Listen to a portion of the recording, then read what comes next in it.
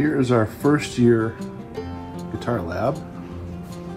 Each student has their own bench. Got school guitars hanging on the wall for students to work on. We have ourselves a new edge sander waiting to get a new home and location.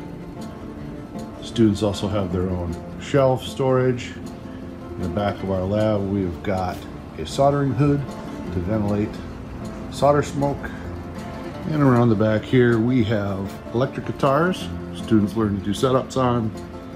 Some new guitars for this year so that everybody has plenty of things to work on.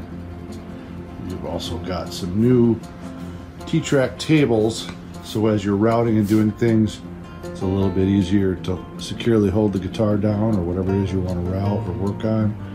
This is the uh, legendary cart that holds our paints for color theory in the spring semester. So from our first year lab, we can head into our power tool room. So on this wall we have a bunch of grinders. We're learning how to grind and get uh, plane blades and chisels sharpened. Got some wood storage there. We've got multiple band saws, multiple drill presses, a couple of different joiners. We have our resaw bandsaw, a Laguna. We have our Timesaver sander. Who left that mess there? Maybe me, maybe not me. Downdraft sanding table, so as you're getting your guitar sanded out, you can capture some of that dust. Another edge sander, another edge sander. We've got some belt disc sanders back here, some router tables, transformer humming, SawStop table saw. Got multiple spindle sanders. We like to get them set up with different size spindles to try to streamline the process back here. Got another SawStop table saw because at certain times of the school year there's a backlog where everybody needs the same tool at the same time so we try to accommodate that. So more spindle sanders. We've got our planer, another belt and disc sander waiting for a location and then another table saw and this is dedicated just for slotting fingerboards. Our scrap bin, which has surprisingly cut down on our waste. This thing will get picked through over the next few weeks and be empty. And so we got uh, we got some cleaning to do here, but it is day three. We just got underway. Let's check out the new space for last year, which used to be a guitar lab.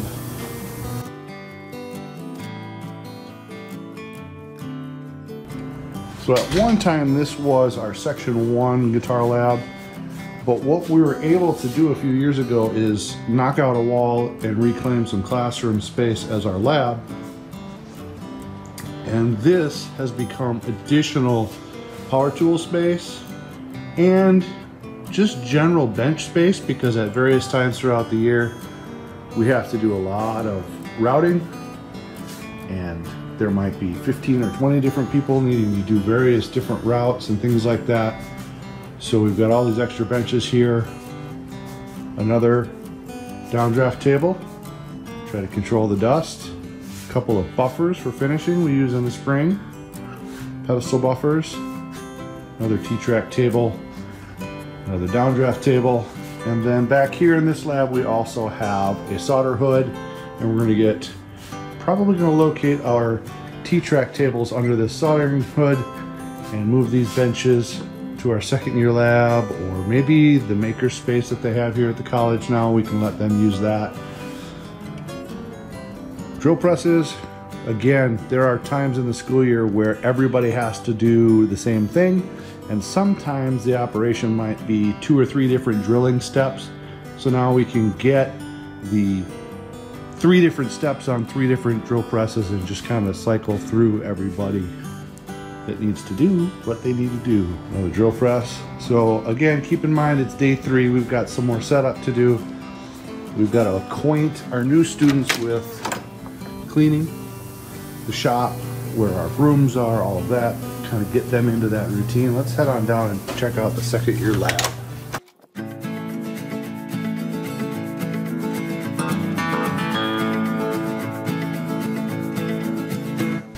So in here we have our second year program, the Guitar Development and Production Program. We focus on CAD and CAM, CNC, and they just got underway with their archtop builds yesterday. So they're joining up their top plates, getting things rolling. Some go-bar decks for gluing on bracing. We have a guitar repair shop that starts tomorrow where we try to get hands on guitars as much as humanly possible. We're also going to put them to the test on some timed mock-up work kind of give them a sense of what it means to be under a hard deadline. So we've got benches for each student down here. And then through this way, we've got our CNC room.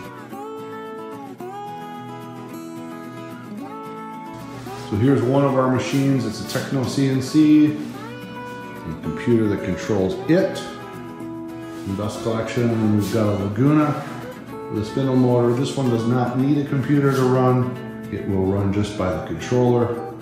Some various fixtures for holding things down, vacuum fixtures, a little bit of storage. And then we got this Grizzly thickness sander because several years ago we had our Timesaver sander break down and that's not necessarily a real easy fix.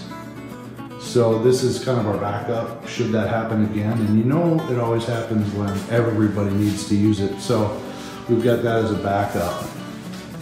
So like I said, it is day three of the new school year and we are excited to be back and looking forward to another good year. Many new instruments will be built. And uh, this is behind the scenes number one.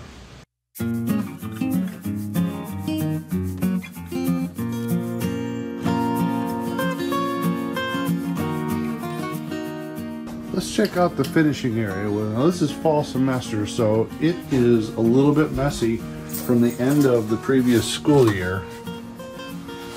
But through these doors, we come into our finishing area.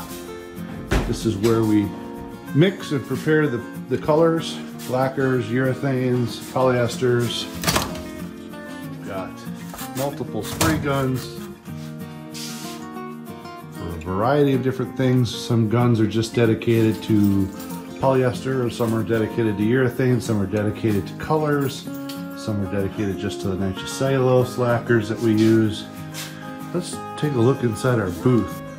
We'll just click the lights on, don't need to listen to that rumble. So keep in mind, this was left from the last day of school last year. But this is our spray booth, and what happens is if you test your spray gun on the wall one time, pretty soon everybody does that. And that is not what we want to do. So this spray booth has to be recoated. So it's a downdraft booth. All of the material is exhausted out the bottom. These are some practice guitars so the students are learning how to spray. They can graduate from spraying a flat panel to a three-dimensional object these are drawing racks for the different finishing projects that they learn about in our intro introduction to finishing class. And then in our second year, we have an advanced finishing class where we deal with polyesters and urethanes and kind of modern production finishing techniques. So before you know it, this space will have to be clean and ready because time flies so fast in this program. The next thing you know, it'll be graduation. And hopefully along the way this year, we can do some of these behind the scenes give you kind of just a, maybe a perspective on what we do, and we'll see what it we'll see what it entails. I'd like to be able to give people insight not only into what we do, but also kind of what it takes to to do what we do, if that makes any sense.